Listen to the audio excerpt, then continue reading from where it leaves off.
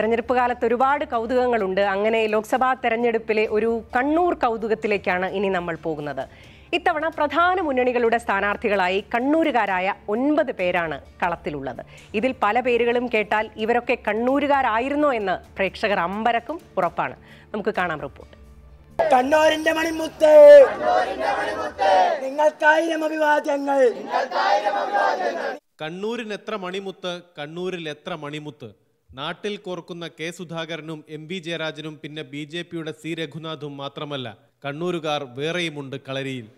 മട്ടന്നൂരിന്റെ M L A K K Shailaja വടകരയിൽ ഇരട്ടിക്കാരി ആനി രാജ പാൽച്ചുരം കയറി വയനാട്ടിൽ കക്കാട് വീടുള്ള പന്നിൻ രവീന്ദ്രൻ തലസ്ഥാനത്ത്. ജയരാജനും ചേരുമ്പോൾ ഇടത് പട്ടികയിൽ നാല് കണ്ണൂരുകാർ. തൊണ്ണൂറ്റാറ് ഞാൻ വോട്ട് പിടിച്ചുകൊണ്ടിരിക്കുമ്പോൾ നമ്മുടെ ആലപ്പുഴയിലെ പൂന്തോപ്പിൽ പോയപ്പോൾ ഒരു വയസ്സായ സ്ത്രീ അന്ന് എന്നോട് ചോദിച്ച ചോദ്യം മോനെ മോൻ കണ്ണൂരല്ലേ? അതെ. കണ്ണൂരാണ് കടന്നപ്പള്ളിക്കാരനാണ് ആലപ്പുഴയിലെ കോൺഗ്രസ് സ്ഥാനാർത്ഥി.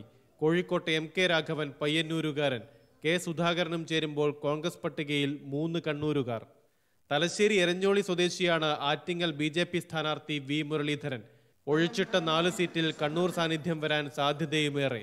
മുഖ്യമന്ത്രി സ്പീക്കർ സി പി എം സംസ്ഥാന secretary L D F convener K P C C അധ്യക്ഷൻ എല്ലാം കണ്ണൂരുകാരാണ്.